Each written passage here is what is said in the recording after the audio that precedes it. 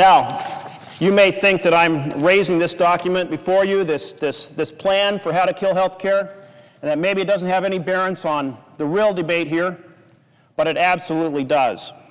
These talking points are being echoed in this very chamber, in this very chamber, in order to kill health care. Let's see. Well, here we go. Frank Luntz memo. That's this memo on how to kill health care. Came out in April. It says talking point number five health care denial horror stories from Canada and other countries do resonate, but you have to humanize them. You'll notice we recommend the phrase government takeover rather than government run or government controlled. Why? Because government takeover sounds even scarier. So, what did we hear on the floor of this chamber from our minority leader just recently? I quote Americans are concerned about a government takeover of health care, and for good reason. And it goes on. So recognize that that is a point that's coming from a document about how to kill health care, not a responsible debate about the plan we have in front of us. Or let's take a look at another example Frank Luntz memo. His memo, talking points three and four.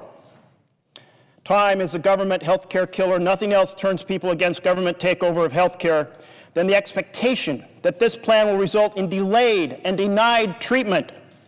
The arguments against the plan, now note that this is about a plan that wasn't written, it's about any plan put forward. The arguments against this plan must also center around politicians, bureaucrats in Washington.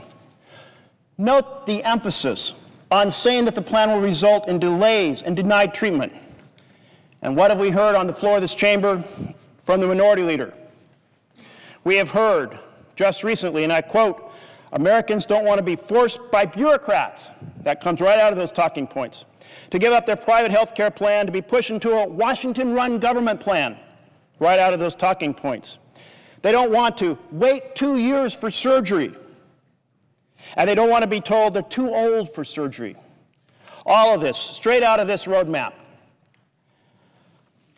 My friends, it is irresponsible in the face of 50 million Americans without health care, with working Americans in every one of our states going bankrupt as they struggle with health care expenses, it's irresponsible to utilize a roadmap of rhetoric that comes from polling about how to scare people. That's irresponsible.